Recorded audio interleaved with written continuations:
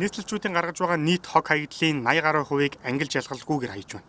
Харамсалтай нь ангилалгүйгээр хаяж байгаа хогийг нийслэлийг тойрсон 3 том хогийн цэгт хүргэж газарт болтгоо. Энэ нэргээд эрүүл мэнд, хүрээлэн буй орчинд сөргөөр нөлөөлөх хамгийн том хүчин зүйл болж байгаа. Энэ хүн нөхцөл байдлыг бид даамжруулахгүй тулд айл өрх албан байгууллага, сууц өмчлөгчдийн холбоо бүр хогийг ангилж хаяж байх шаардлагатай тулгараад байна. Тэгэхээр ерөөсөө л зөвхөн хоол хүнсний хаягдл юм уу?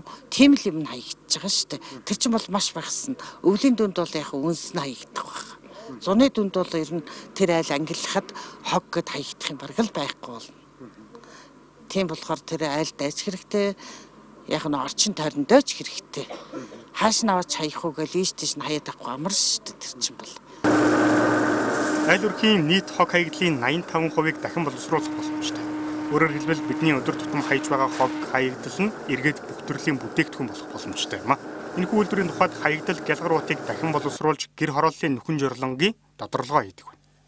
хатуу хуванцар PET буюу ундааны сав хатуу хуванцар буюу нөө феример HTP гэж ярддаг а ферины сав бокс шампуныхоо савнуудыг тусна тэгээ ахаад гэлгар утаа тусна. Ерөөсөө ингээл хуваарлцахад энэ гурван одоо ахуй хэрэглэнээс гарч байгаа хуванцар бүхэл хог аягдал дахин боловсруулах боломжтой байгаа Монгол улсад үйлдвэрүүд нь байгаа. А тэгэл энийг ингээ үйлдвэрлэлүүдэргүй явуулах зөв шугамыг л бий болгочихвол ерөөхдөө ахуй хэрэглэнээс хуванцар хог аягдал гэдэг юм гарахгүй Нэг өрхөөс гарч байгаа нийт хаягдлын 20 гаруй хувийг гялгар ут эзэлдэгч энэ төрлийн дахин боловсруулах үйлдвэрлэл эрхэлдэг үйлдвэрүүд түүхийн эдийн дутагдалд байнга ордог.